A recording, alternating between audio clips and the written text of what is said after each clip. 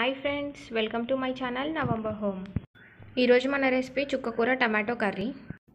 ముందుగా బౌల్ తీసుకొని ఆయిల్ వేడి చేసుకోండి. అందులో కొంచెం జీలకర్ర ఉల్లిపాయలు వేసుకోండి. ఉల్లిపాయలు వేగాక కొంచెం పసుపు వేసుకోండి.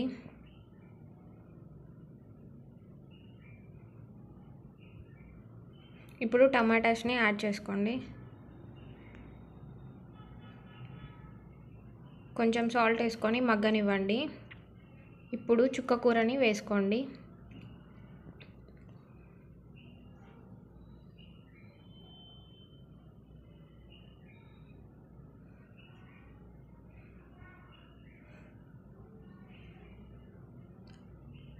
అది మంచిగా ఫ్రై అయ్యాక కారం వేసుకోండి.